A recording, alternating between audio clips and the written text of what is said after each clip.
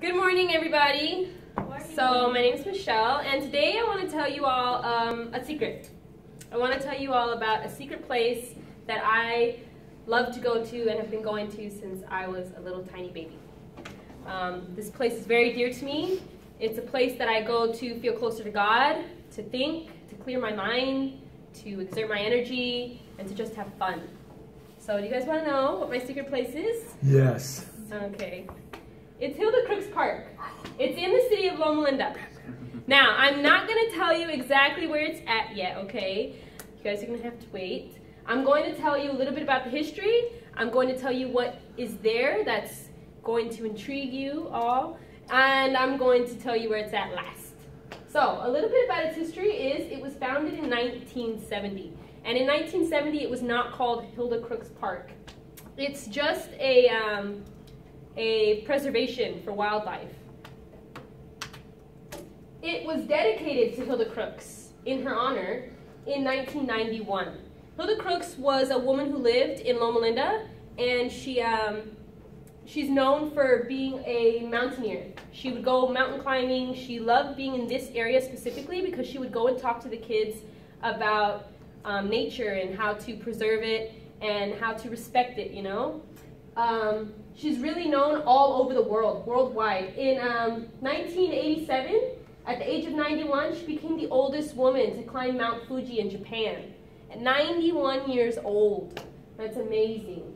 And between the ages of um, 65 and 91, she climbed Mount Whitney 23 times. And also during that time, she climbed 97 other mountains. So she's very, very active, and she was always out there telling people how to live a healthy lifestyle. So this is why she, they dedicated this park to her, because she loved this area especially. And um, like I said, she's known worldwide, so they actually named other mountains. In um, the Whitney area, they named a mountaintop after her called Crooks Peak. So that's a little bit about the background. Now I'm going to tell you the really fun stuff that's there. So this is a this is a, a replica of her. It's actually um, a statue made her size. She's a really short woman, so if you go there, you'll see she was really short. This is exactly how tall she was, and she always wore a hat like that as well. So if you look her up, you'll see this is this is her. okay, so the place here is very very big, 2,000 acres, over 2,000 acres of wildlife. Okay, and what's really cool is you can literally walk from Hilda Crooks Park all the way to Riverside. I don't recommend that you do it because there's a lot of wildlife in there. It'll take a really, really, really long time, but you could do it. You could walk from here all the way to Box Springs Mountain Reserve in Riverside. There's a lot of wildlife, like I said, which is why I don't recommend you do something like that. Um, in uh, Box Springs Mountain Reserve, they actually have mountain lions over there, okay? So I go hiking up here all the time, and I've been um, privileged to see the rattlesnakes and the coyotes, bobcat, deer. They even have wild donkeys up here and wild boar. And I know I've seen a mountain lion up here. I saw it. And I, people still tell me it wasn't a mountain lion, but I know it was. So if you go out there and you go hiking, just be aware you are in the wild out there. This is one of their views. Beautiful, gorgeous views all around, all around. And in this picture, you can see that there's um, the basketball court that they have. They also have two tennis courts here. They also have um, a volleyball court, um, many, many other things, and many open spaces. This is not their highest peak either. They have much higher peaks. This is one of their um, playgrounds that they have. They have three playgrounds here in this area. This is another one of their playgrounds. They have restrooms, tons of tables. I like the fact that they have trash cans everywhere, try and um, encourage people not to litter. Um, I love these spinny things. They actually don't have a lot of these in the area, so I love this park because it has that. Swings, another playground area. Um, I love this big hill. There's a story behind that I'll get to. If you see this area over here, this is where they put the volleyball net. Now you have to go down to the city and tell the city to put it up. And you'll do that if you're gonna have a party. And if you're gonna have a party and you wanna use like a jumper house or something, you also need to go down to City Hall and get a permit to do that. Doesn't cost very much, very easy to get, and um, they'll put the volleyball net up for you. They take it down because it's been vandalized before, so they don't wanna have it up. Now the park here is very big in this area, and the hill, there's a story I want to tell you, very, very fun thing to do. If you have kids, if you don't have kids, I've done it to this day, I still do it.